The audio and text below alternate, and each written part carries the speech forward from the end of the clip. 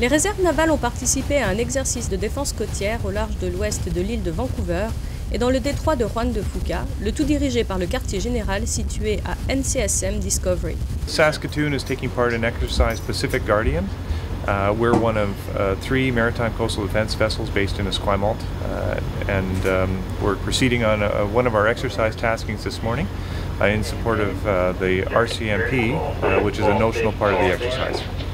Uh, the idea right now is the RCMP has asked us to search for a vessel that they're interested in taking a look at and possibly boarding for illegal contraband.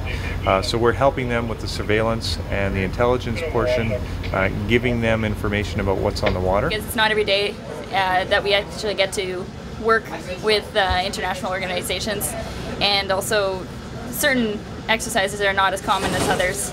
So it gives us a wider opportunity to practice and hone skills that we don't get to use every day.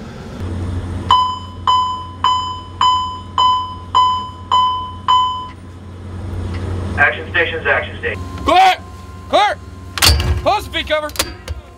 Du 5 au 8 février, les marins ont été confrontés à divers scénarios reliés à la protection et à la défense des intérêts de la sécurité intérieure du Canada. When you're doing things in the classroom, of course, you lack that realism. When you're out at sea, when you're uh, tired or hungry or perhaps a little bit seasick, that realism kicks in and you're practicing uh, your skills under what it would be a little bit more stressful conditions.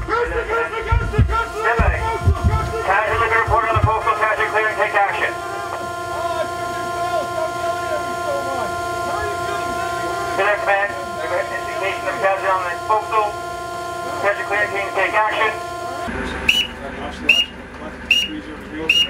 Le navire Wahoo et un hélicoptère, tous deux appartenant à la garde côtière américaine, ont contribué à un scénario d'évacuation de blessés durant un exercice destiné à renforcer la collaboration internationale interarmée.